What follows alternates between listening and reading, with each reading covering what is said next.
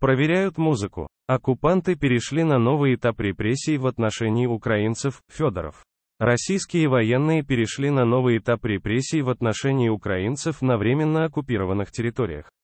Оккупанты проверяют телефоны на наличие украинской музыки. Об этом сообщает РБК Украина со ссылкой на телеграм-канал Мелитопольского городского головы Ивана Федорова. Оккупанты уже не знают, какой террор оказывать, чтобы прекратить сопротивление на захваченных территориях, сказал Федоров. Мэр сообщил, что ранее оккупанты в телефонах украинцев искали доказательства сотрудничества с силами сопротивления. Затем смотрели переписку в мессенджерах, чтобы найти к чему придраться и обвинить в терроризме.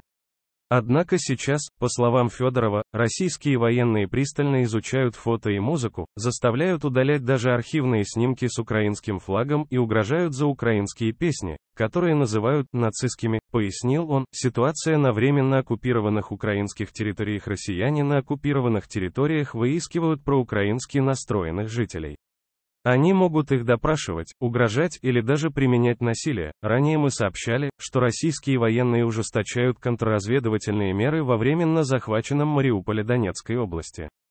Они ищут украинцев, которые помогают в СУ. Кроме того, мы писали, что оккупанты во временно оккупированной части Луганской области разыскивают автомобили с украинскими номерами и заставляют владельцев их менять. В частности, захватчики также запрещают украинцам в оккупации общаться с родственниками, проживающими на подконтрольных Украине территориях, а также продолжают мародерить и использовать гражданскую инфраструктуру на оккупированных территориях.